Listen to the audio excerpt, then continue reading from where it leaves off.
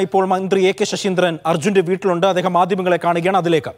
നമുക്ക് ലഭിക്കേണ്ടതുണ്ട് എന്നതിന്റെ അടിസ്ഥാനത്തിലാണ് അങ്ങനെ ചെയ്തത്. പക്ഷെ അവരെ അവിശ്വസിച്ചിട്ടല്ല എന്നാലും നമ്മുടെ ഒരു കേരളത്തിന്റെ ഒരു ആശ്വാസത്തിന് വേണ്ടി നമ്മൾ കാണേണ്ട നമുക്ക് കാണ കാണുമ്പോൾ ഉണ്ടാകുന്ന ഒരു ബോധ്യവും പറഞ്ഞറിയിക്കുന്ന ബോധ്യവും തമ്മിൽ വ്യത്യാസം ഉണ്ടാവില്ല. പക്ഷെ അങ്ങനെ നിയമിച്ചിട്ടുണ്ട്. ഈ അർജുന്റെ സഹോദരിയുടെ ഭർത്താവ് അവിടെയുണ്ട്. ഈ ഉദ്യോഗസ്ഥനും അവരും തമ്മിൽ ബന്ധപ്പെടുത്താനുള്ള ഏർപ്പാടും ഇപ്പോൾ ചെയ്തു കഴിഞ്ഞിട്ടുണ്ട്. കാരണം ഈ കുടുംബത്തിന്റെ ആശ്വാസമാണ് നമ്മളെ സംബന്ധിച്ചിടത്തോളം ഏറ്റവും പ്രധാനപ്പെട്ട പ്രശ്നം. സാങ്കേതികത്വമല്ല. അപ്പോൾ അവർക്ക് ആശ്വസിപ്പിക്കാൻ കഴിയുന്ന വിധത്തിലുള്ള നിലപാടുകൾ സ്വീകരിക്കണമെന്ന് ചീഫ് സെക്രട്ടറിയായിട്ട് ഞാനിപ്പോൾ സംസാരിച്ചു. അദ്ദേഹവും ജില്ലാ കളക്ടറും ഉൾപ്പെടെയുള്ള ഉദ്യോഗസ്ഥന്മാരുമായി അവിടുത്തെ ഉദ്യോഗസ്ഥന്മാരുമായി ബന്ധപ്പെട്ടുകൊണ്ടിരിക്കുന്നുണ്ട് ഇപ്പോൾ പോലീസിന് ഓരോ മണിക്കൂർ കൂടുമ്പോഴുള്ള വിവരങ്ങൾ കൃത്യമായി ലഭിക്കുന്ന വിധത്തിലുള്ള സംവിധാനമാണ് ഉണ്ടാക്കിയതെന്ന് ഞാൻ മനസ്സിലാക്കിയിരിക്കുന്നത്. കേരളത്തിന്റെ ഭാഗത്തു നിന്നും ഈ വിവരം അറിഞ്ഞത് ഉടനെ തന്നെ മുഖ്യമന്ത്രി ഉൾപ്പെടെ ട്രാൻസ്പോർട്ട് മന്ത്രി ഉൾപ്പെടെ എല്ലാ മേഖലയിലുമുള്ള ഭരണകൂടത്തിന്റെ ഭാഗമായി പ്രവർത്തിക്കുന്നവരും മറ്റ് പ്രമുഖ രാഷ്ട്രീയ പാർട്ടിയുടെ നേതാക്കന്മാരും ഈ പ്രശ്നത്തിൽ ഫലപ്രദമായി ഇടപെടുന്നുണ്ട്. ആ ഇടപെടലിന് ഫലമുണ്ടാകുമെന്നാണ് നമ്മൾ പ്രതീക്ഷിക്കുന്നത്.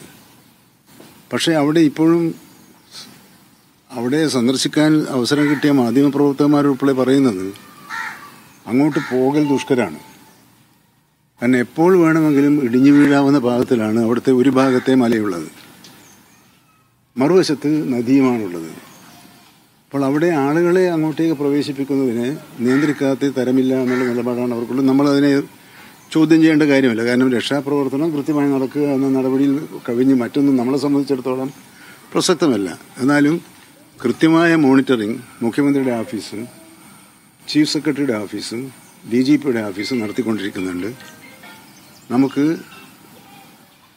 ഇന്ന് ഇന്നലെ നടന്നതിനേക്കാൾ കൂടുതൽ ഫലപ്രദമായ രക്ഷാദൗത്യം നടത്തി നടപ്പിലാക്കാൻ കഴിയുന്നുണ്ട് എന്നാണ് അവരുടെ ഭാഗത്തു നിന്നും അറിയാൻ കഴിഞ്ഞിട്ടുള്ളത്. രക്ഷാപ്രവർത്തനം തുടങ്ങാൻ ഒരുപാട് വൈകി എന്നുള്ളൊരു ആരോപണം കുടുംബം പൊതുവെ പറയുന്നുണ്ട്. അതെന്നോടും പറഞ്ഞു.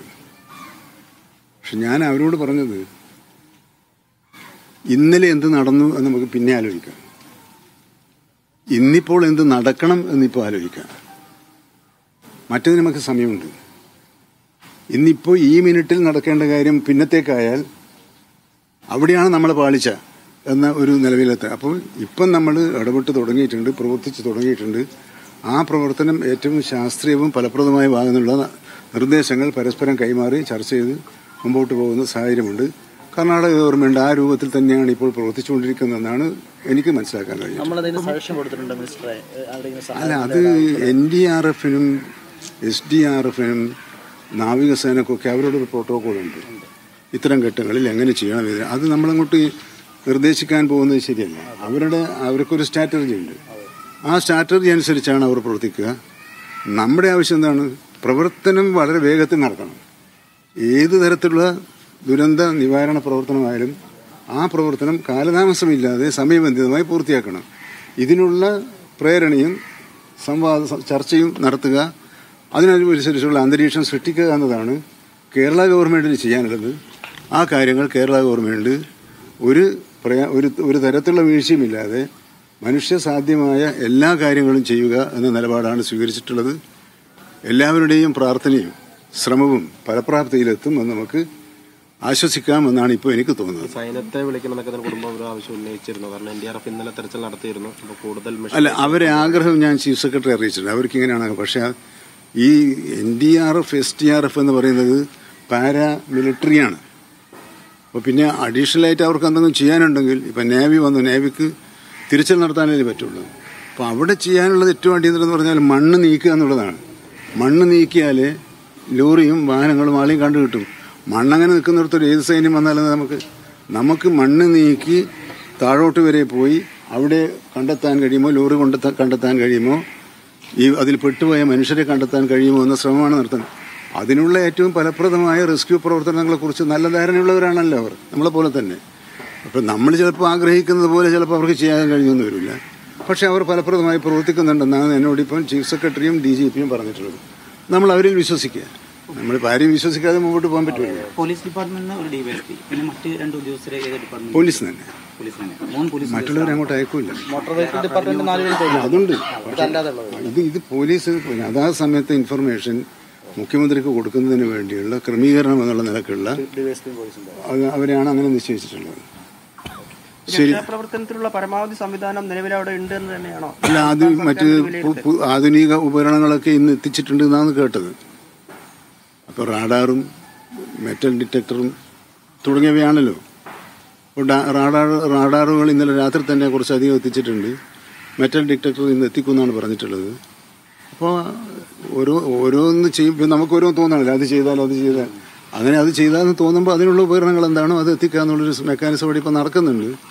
എന്നാണ് ഞങ്ങൾക്ക് കിട്ടിയിട്ടുള്ള വിവരം. മാറ്റാൻ കൂടുതൽ വലിയ മെഷീനറീസ് ബുൾഡോസർ പോലെ മെഷീനറീസ് കൊണ്ടുവന്നൊക്കെയാണ് കുടുംബം പറയുന്നത്. ഇന്നലെയൊക്കെ എട്ട് ജെ സി ബിയും ഇതൊക്കെയാണ് അവിടെ ഉണ്ടായിരുന്നത്. കുടുംബങ്ങൾക്ക് സ്വ- സ്വാഭാവികമായിട്ടും കുടുംബത്തിന് അവരുടെ ആഗ്രഹം എന്താ? അത്രയും പെട്ടെന്ന് കണ്ടെത്തുക എന്നുള്ളതാണ്.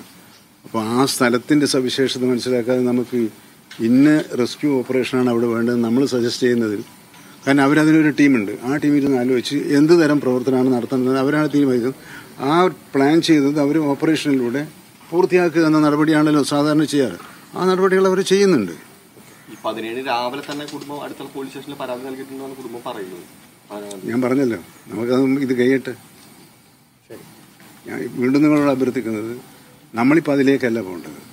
അതിലേക്ക് പോകാൻ ഈ ശ്രമത്തിന്റെ പൂർണ വിവരം അറിഞ്ഞതിന് ശേഷം മാത്രമേ നമ്മൾ അതിലേക്ക് പോകേണ്ടതുള്ളൂ എന്നാണ് എന്റെ അഭിപ്രായം. തീർച്ചയായിട്ടും. പ്രതീക്ഷയില്ലെങ്കിൽ നമ്മളിതൊക്കെ ചെയ്യാം.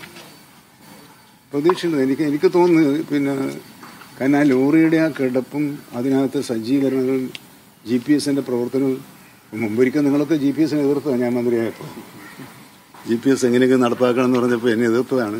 ഇപ്പം നിങ്ങൾക്ക് ഒരു മനസ്സാവ് ഉണ്ടാകണം. ജി പി എസ് ഉള്ളതിന്റെ ഒരു ഗുണമാണത്. ഇപ്പം പിന്നെ എല്ലാ വാഹനങ്ങളിലും ഘടിപ്പിച്ച് ജി പി എസ് ഘടിപ്പിച്ച വാഹനം തന്നെയാണ് വരുന്നത്. അന്ന് ലോറി ഉടമസ്ഥന്മാർ ബസ് ഉടമസ്ഥന്മാർ എല്ലാവരും തന്നെ വലിയ ശക്തിയായിട്ട് വിയോജിച്ച കാര്യം ഞാനിപ്പോൾ സന്ദർഭത്തിന് ഓർത്തു പോയെന്നുള്ളൂ അത് അതൊന്നും ചർച്ച ചെയ്യേണ്ട ഒരു വിഷയമല്ലേ ഇപ്പോൾ? ഓക്കെ.